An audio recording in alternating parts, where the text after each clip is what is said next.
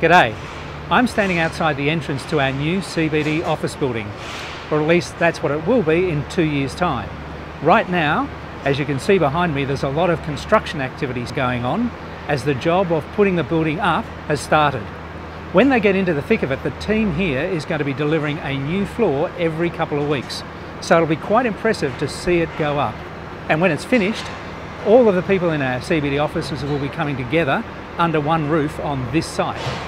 Talking with the project management team of the construction company here, it's clear that they spent months and months and months in careful planning and preparation before they actually moved to site. And that needs to be the case for us too, because when we move to this building, we want to adopt new ways of working in a completely digital work environment. And that's going to require for us a lot of rethinking of our business processes and how we go about our work. We've done a little bit of measurement and right now considerably over 50% of what we do is still paper based. We need to move to an environment where there's as little paper as possible. And it's not just about the paperwork, because now is our opportunity to transition our business processes to be leaner and more efficient, to be digitally driven and more user friendly.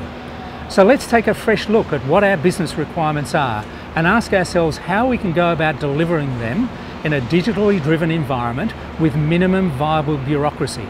The job starts now, and over the course of the coming weeks and months, we'll be engaging with you about that transition so that when we arrive here in Office 2023, we're in a completely new and better work environment.